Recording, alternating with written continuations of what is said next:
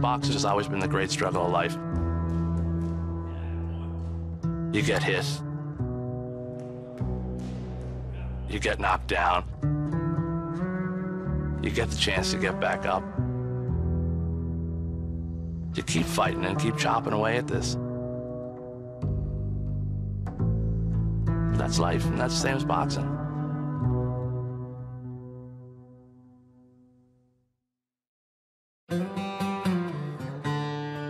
The word reserve casts a long shadow in Canada.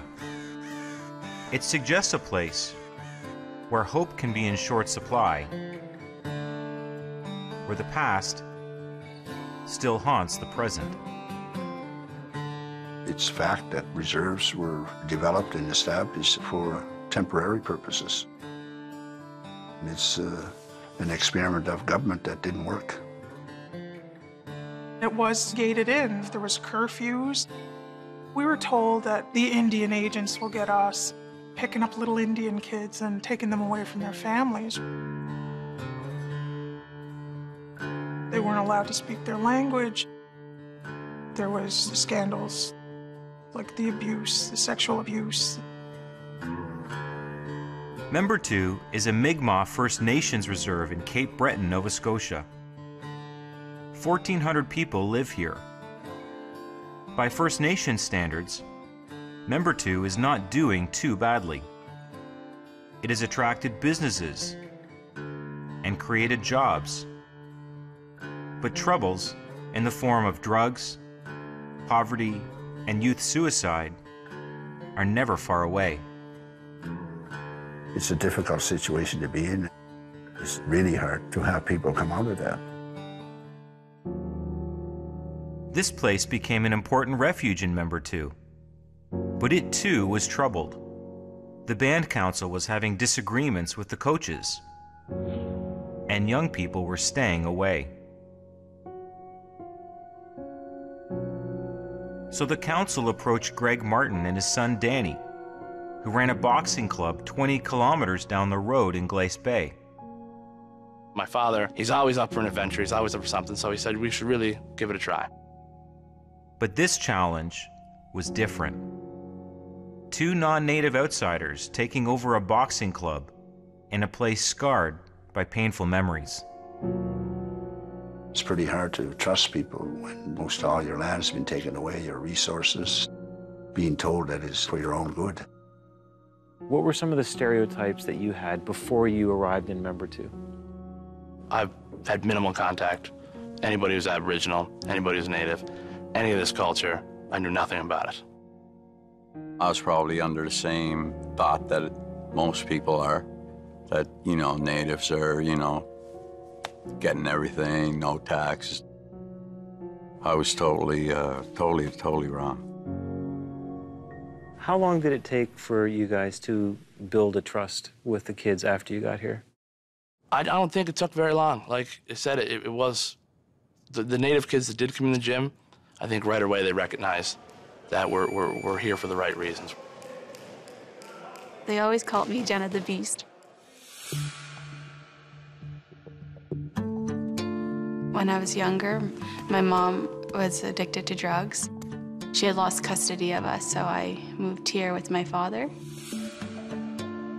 She doesn't like to brag, but what we saw was we saw talent. Until I was 18, I'd had about 13 fights. I remember being just excited. I was just trying to have a lot of fun. So what happened when you were 18? I had a baby. I took time off to have a baby. It's a cow. Rates of teenage pregnancy are higher among First Nations than other Canadians. Do you know what that is? All too often, it leads to failure in school and dependence on welfare. Truck. What's that, Hunter? But Jenna had a goal That's an orange. returning to the ring. What's that? I couldn't wait to come back. Like in my head, it was like, okay, I'm gonna have the baby, but that's not gonna stop me from getting back to training and fighting again. What is that? A kid like that, she'll always find a way to, to come back and, and beat the odds. So it's just so great to see her.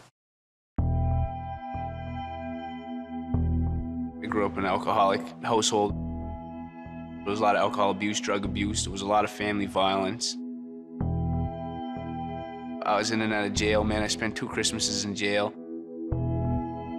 I was drinking a lot. I was I was doing drugs. Honestly, if I didn't change, then then God knows where I would have been, right? So I was about 16, 17. I was walking by. I knew it was a boxing club, so I decided to peek in. Tried it out. I liked it. I kept coming back. It's been months. It's fair to say right now he's a different guy. Right now, everything's working great for Aaron. Since he's joined our program, I've seen that young fella absolutely do a 180 degree turn.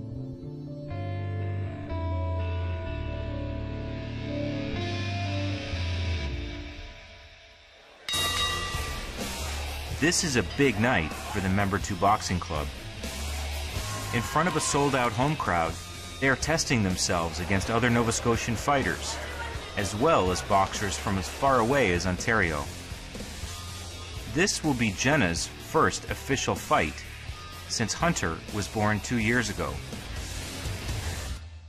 When you get up there in the ring, how do you feel about representing Membertou, representing your community? Feels kind of like a lot of pressure, but I feel proud to represent the community. Like I just want to give them a good show.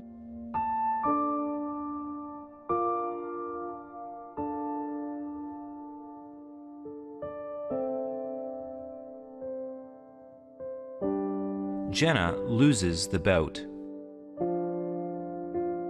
But against an older, more experienced opponent, she's given the fans a good show.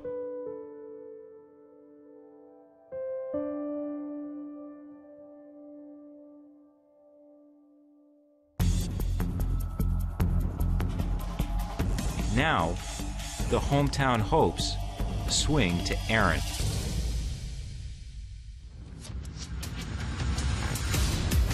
Everybody's encouraging us. I'm gonna go in there, I'm gonna give it all I got.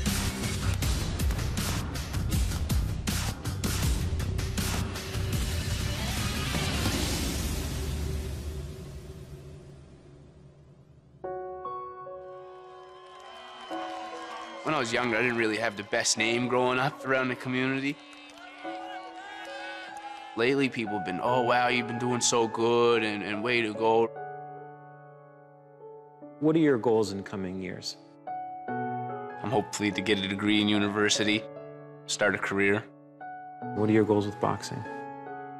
Like if I'm still here in the community, I want to be, uh, you know, coach at this gym and stuff like that.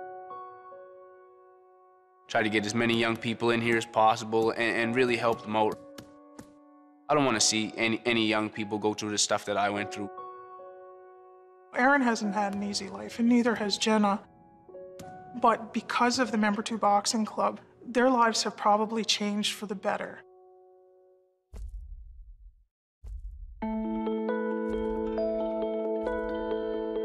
After I started boxing, that's when I started doing better in school. I wanted to be a better student and I wanted to dream big. It was always my dream to be a doctor.